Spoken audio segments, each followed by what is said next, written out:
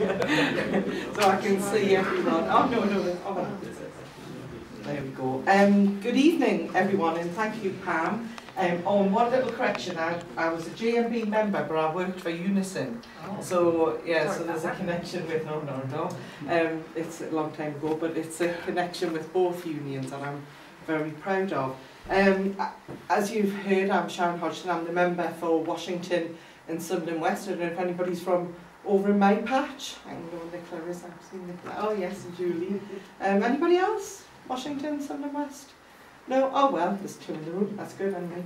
Um, so, uh, are the rest from other parts of Sunderland, or are we from wider? Is everyone from Sunderland? Sunderland, yeah. yeah. Oh, well, that's very good. South and South Tyneside as well, yeah. Great. Oh, well, it's fantastic to see such a, a good turnout, as Pam said, and um, thank you to John and Gemma for, for kicking us off so well with the, the local and the regional perspective.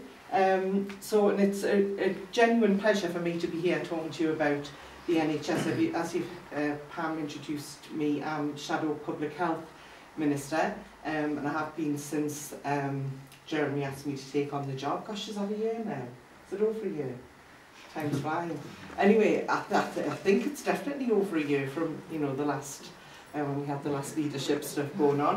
So, um, and we've had an election in the middle of all of that, so, um, and we might have another election soon. Let's hope we do for the sake of the NHS, which I'm going to come on to.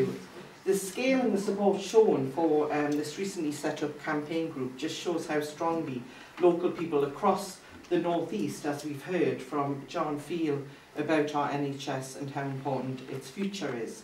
And as a Shadow Health Minister, I know all too well how damaging the Tory policies are towards our NHS and it's groups like this one and working alongside the Labour Party in Parliament and across the country that are helping us to hold the government to account for their actions. And in my contribution this evening, I've been asked to talk about the national perspective when it comes to our NHS.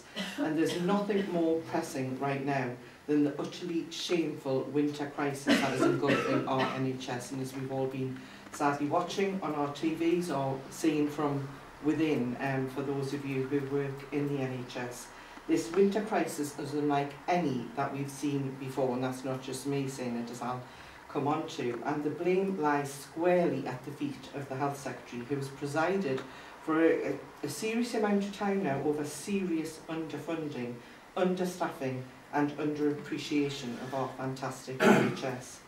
Labour have repeatedly dragged ministers to the House to hold them to account on this. There's almost, not a week go, goes by when we're um, trying to get an urgent question or a, a statement or a debate um, on something connected with the NHS.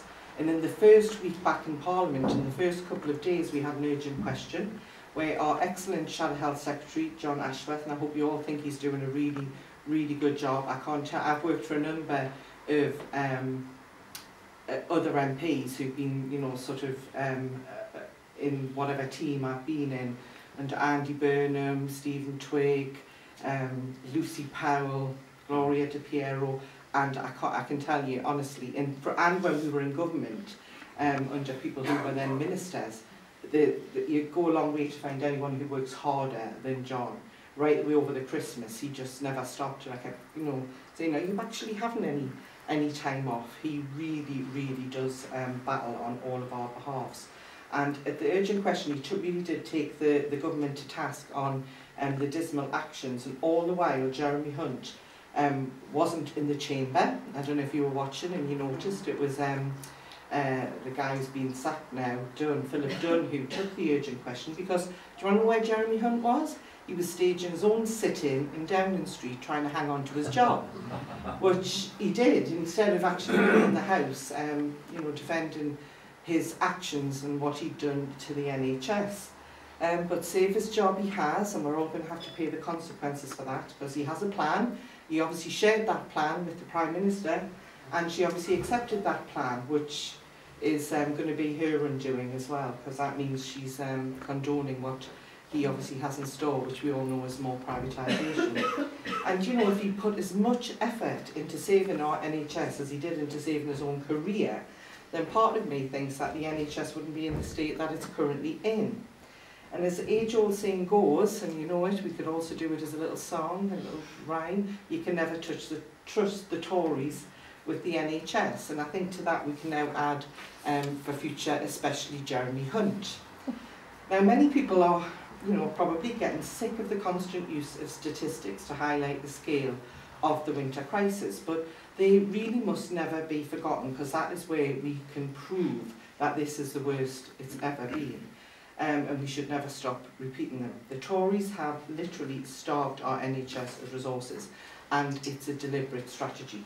Um, he's wrote a book as well, hasn't he, Jeremy Hunt? He's got it all down in a book, he knows exactly what he's doing. So this has meant that this winter alone, 75,000 patients have waited in the back of an ambulance for over 30 minutes, often in excruciating pain. Over one third of England's children's care units were 100% full, 100%, with not one single spare bed for new admittances. And that figure should be 85%, that's the figure, and that's full. When the NHS is at 85% full bed occupancy, that's what they call full. It's now at 100.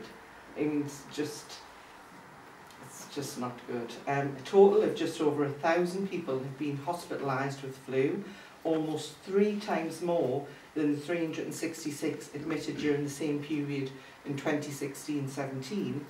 And our analysis has shown that there is a workforce crisis with 100,000 vacant posts across the NHS um, across NHS England, so that's not counting Wales and Scotland. There's 40,000 nurse vacancies, 12,000 nurse and support staff vacancies, and 11,000 scientific, technical and therapeutic staff vacancies.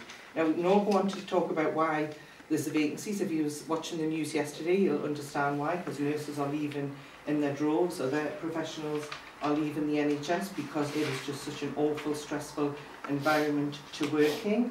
Um, there's also the, um, the Brexit angle because a lot of the European nurses, if they get a chance of promotion or to go back home um, to Europe, they're taking that option.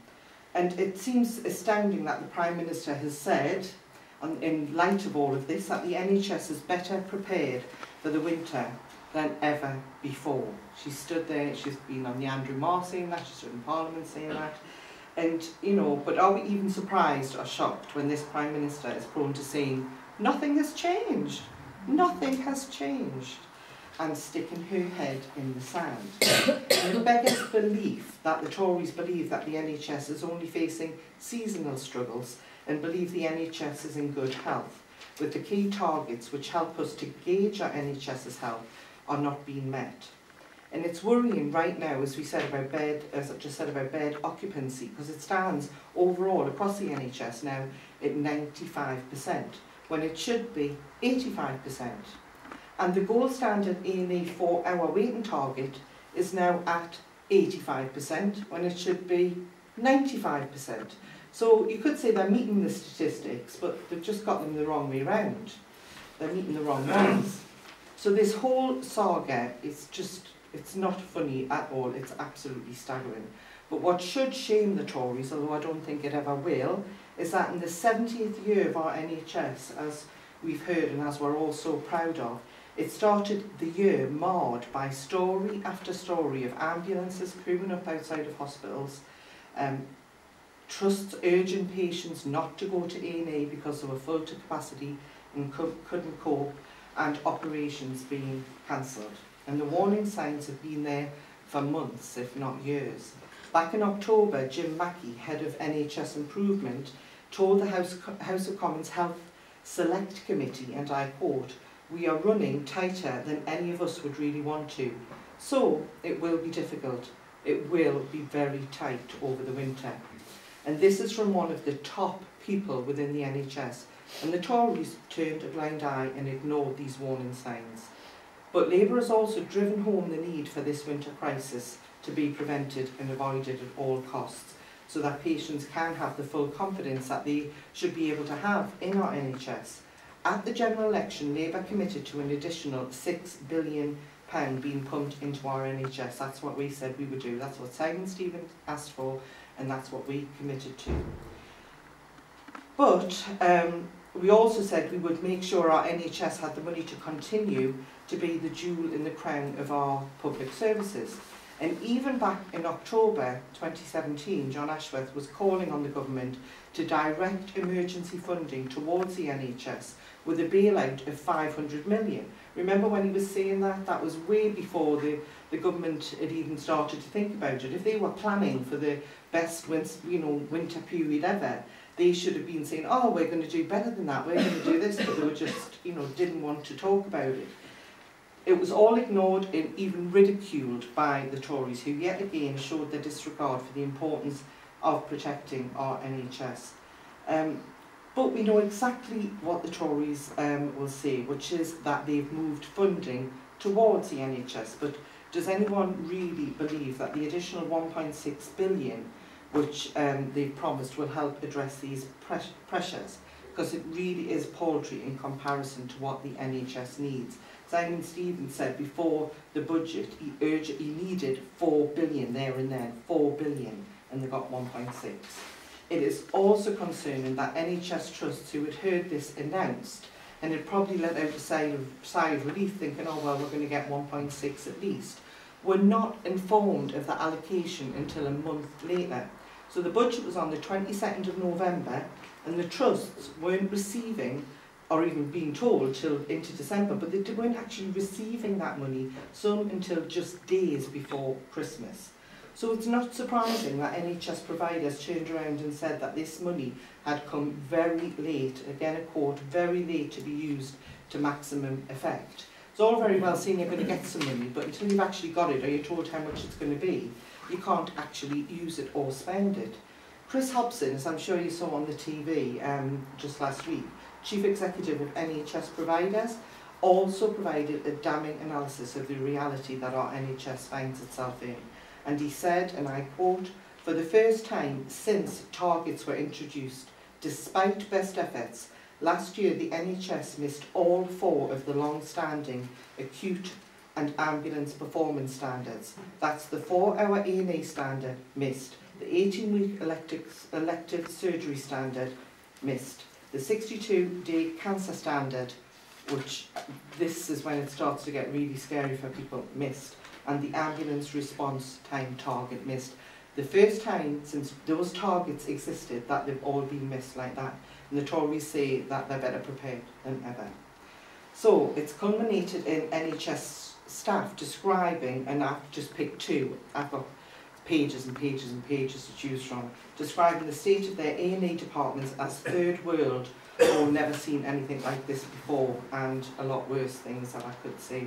This has meant trusts have had to delay all elective surgeries, which is estimated at 55,000 operations.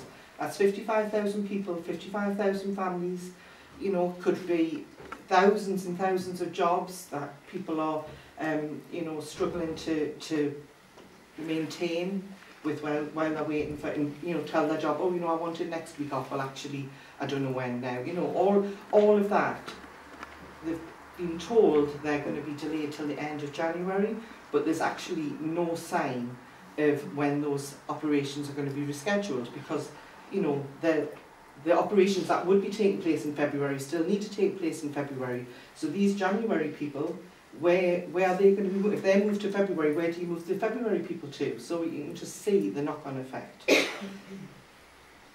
so it's going to leave patients living in pain for far longer than they should and God forbid if we see any fatalities. None of us want to see that, even um, you know, to use against the Tories. We do not want to go there.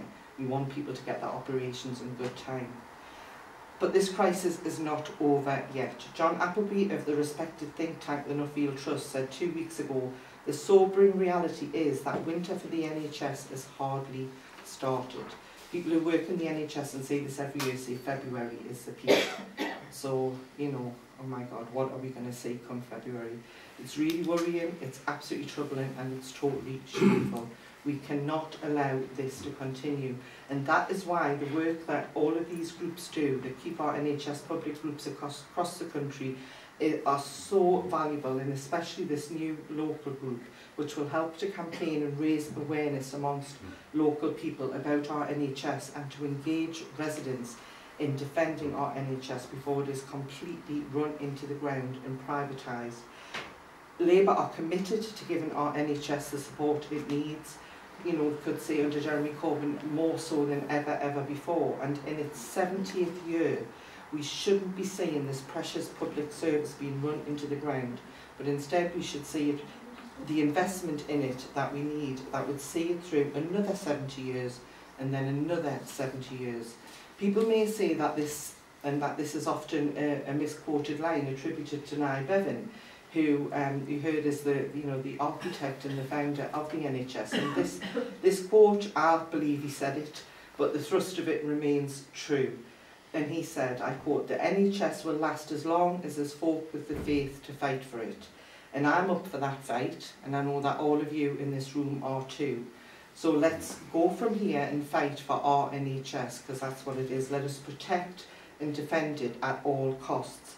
Not just for those people who rely upon it now, but for all those future generations who will rely upon it mm-hmm. too. Thank you.